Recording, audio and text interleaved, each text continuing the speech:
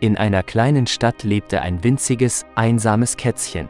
Er war gerade mal drei Wochen alt, kaum alt genug, um die Welt auf eigene Faust zu erkunden. Tag für Tag streifte er durch die Straßen, auf der Suche nach Nahrung und Schutz, seine zarten Pfoten hinterließen winzige Spuren auf dem Bürgersteig. Eines schicksalhaften Tages, als das Kätzchen erschöpft in der Nähe einer Mülltonne lag, bemerkte ihn jemand mit einem guten Herzen, ohne zu zögern hob dieser Fremde das fragile Wesen auf und trug es weg, ließ das kleine Kätzchen verwirrt und verängstigt zurück. Das Ziel des Fremden stellte sich als Tierheim heraus, ein Ort voller anderer Katzen unterschiedlichen Alters und Größen. Als das Kätzchen in einen Käfig gesetzt wurde, begrüßten ihn die lokalen Katzen, gehärtet durch ihre eigenen Kämpfe und vergangenen Erfahrungen, mit Fauchen und Schnauben. Das kleine Kätzchen zog sich zurück, fühlte sich noch trauriger und einsamer als zuvor.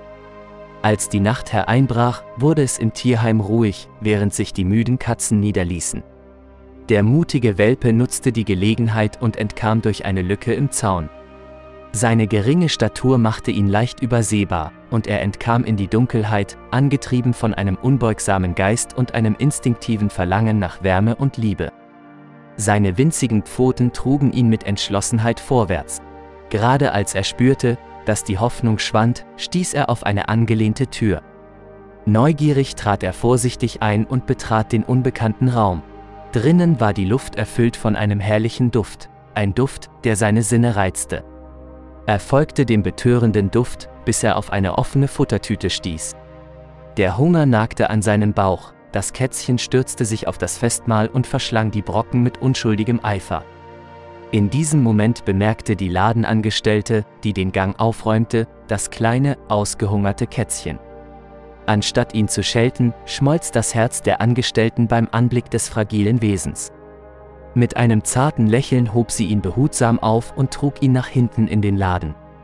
Da sie den Bedarf des Kätzchens an richtiger Nahrung erkannte, wählte die Ladenmitarbeiterin eine spezielle Mischung von Katzenfutter aus. Sie verstand, dass dieses kleine Kätzchen nicht dazu bestimmt war, verlassen oder allein durch die Welt zu streifen. Sie wiegte ihn in ihren Armen und beschloss, ihn mit nach Hause zu nehmen, die Liebe und Pflege zu bieten, die er so dringend brauchte. An diesem Abend, als die Ladenangestellte im Bett lag, klammerte sich das Kätzchen an ihre Schulter, fühlte sich sicher und geliebt.